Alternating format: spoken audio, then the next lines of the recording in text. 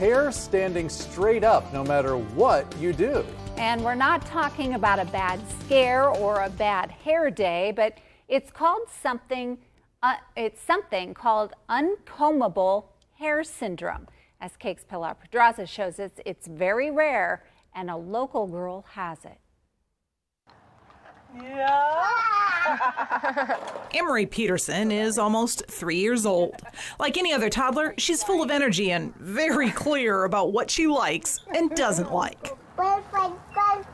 But when it comes to her head of bright blonde hair, she's almost unique. Basically, she just has crazy hair, is what it looks like all the time. You pull up Google Images, they all look the same. She has what's called uncombable hair syndrome, hair that's different at the genetic level.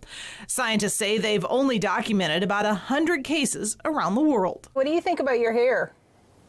It's crazy and um goopy.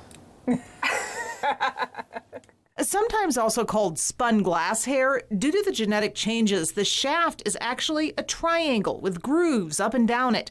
That's what makes it so unmanageable. One, two, three. It's so rare, Emery's pediatrician had never heard of it.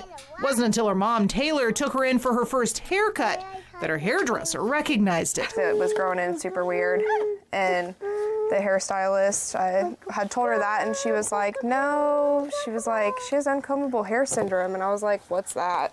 It's like that's not a real thing. So Taylor was excited when she saw this story on our website about a little boy in Georgia with the same syndrome.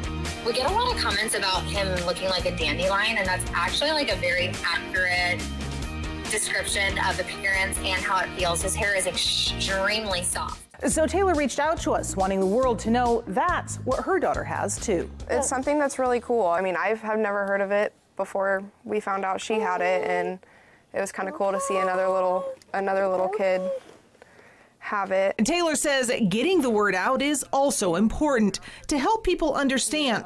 While most who see Emery's hair are just curious, some are judgmental, even mean. Mainly, it's just, oh wow, her hair is really wild.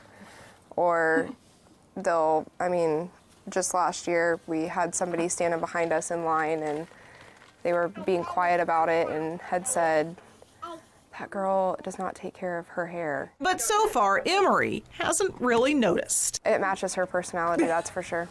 crazy hair, crazy attitude. Kids with uncombable hair usually grow out of the syndrome around the time they hit puberty. In the meantime, Taylor says there's not much you can do as far as styling the hair. You just love it the way it is. Pilar Pedraza, KAKE on your side.